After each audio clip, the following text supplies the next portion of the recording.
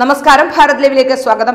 ആഡംബര കപ്പലിലെ ലഹരിമരുന്ന് കേസിൽ അറസ്റ്റിലായ ബോളിവുഡ് നടൻ ഷാറൂഖ് ഖാന്റെ മകൻ ആര്യൻ ഖാൻ അടക്കം ആറുപേരെ പതിനാല് ദിവസം ജുഡീഷ്യൽ കസ്റ്റഡിയിൽ വിട്ടു. ആര്യനെ വീണ്ടും കസ്റ്റഡിയിൽ വേണമെന്ന് നാർക്കോട്ടിക്സ് കൺട്രോൾ ബ്യൂറോയുടെ ആവശ്യം കോടതി തള്ളി. ചോദ്യം ചെയ്യാൻ എൻ സി ബിക്ക് ആവശ്യത്തിന് സമയം ലഭിച്ചെന്നും കോടതി ചൂണ്ടിക്കാട്ടി. കേസിൽ പ്രത്യേക എൻ ഡി പി എസ് കോടതിയിലാകും ഇനി വാദം നടക്കുക. അതേസമയം ആര്യൻ ഖാന്റെ ജാമ്യാപേക്ഷയിൽ ഇന്ന് കോടതി വാദവും കേൾക്കും. ജയിലിൽ പുതിയ തടവുകാരെ പ്രവേശിപ്പിക്കാത്ത സാഹചര്യത്തിൽ പ്രതികൾ എൻ സി ബി ഓഫീസിൽ തന്നെയാണ് തങ്ങിയിരുന്നത്. അതേസമയം ആര്യൻ ഖാനെതിരെ കുരുക്കുകൾ മുറുകുകയാണ്. ഇരുപത്തിയൊന്നായിരം കോടി രൂപയുടെ മയക്കുമരുന്ന് പിടിച്ചെടുത്ത കേസിൽ അന്വേഷണ ചുമതല ദേശീയ അന്വേഷണ ഏജൻസിക്കും കൈമാറി.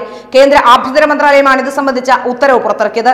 ഗുജറാത്ത് തീരത്ത് അദാനിക്ക് നടത്തിപ്പ് ചുമതലയുള്ള തുറമുഖത്തു നിന്നാണ് ഇരുപത്തിയോരായിരം കോടി രൂപ വില വരുന്ന ലഹരി മരുന്ന് പിടിച്ചെടുത്തത്. കൊച്ചി സന്ദർശിച്ചു മടങ്ങിയ ഒരു ക്രൂയിസ് കപ്പലിൽ നിന്നാണ് നാർക്കോട്ടിക് ബ്യൂറോ മയക്കുമരുന്ന് പിടിച്ചെടുത്തിരുന്നത്. റെയ്ഡിൽ മയക്കുമരുന്നുമായി ബോളിവുഡ് താരം ഷാറൂഖ് ഖാന്റെ മകൻ ആര്യൻ ഖാൻ ഉൾപ്പെടെയുള്ളവർ അറസ്റ്റിലായതോടെയാണ് സംഭവം വിവാദമായത്. ചെന്നൈ സ്വദേശികളായ മച്ചാവരും സുധാകരനും ഗോവിന്ദരാജും ദുർഗാപൂർണ വൈശാലിയുമായിരുന്നു പ്രധാന പ്രതികൾ. ഇവരുടെ വിജയവാഡ ആസ്ഥാനമായുള്ള ആഷി ട്രേഡിംഗ് കമ്പനിക്ക് വേണ്ടിയാണ് മയക്കുമരുന്ന് എത്തിച്ചത്.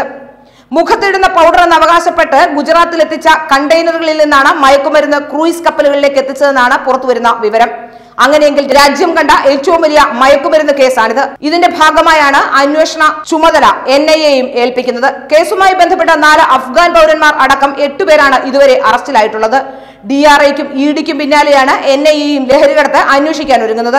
ആര്യൻ ഖാനെ കൂടാതെ അർബാസ് മർച്ചൻ മുൻമുൻ ധമാച്ച നൂപൂർ സാരിക ഇസ്മത് സിംഗ് മോഹക് ജസ്വാൾ വിക്രാന്ത് ചോക്കർ ഗോമിത് ചോപ്ര എന്നിവരെയാണ് ശനിയാഴ്ച നടന്ന റെയ്ഡിനെ തുടർന്ന് അറസ്റ്റ് ചെയ്തത്.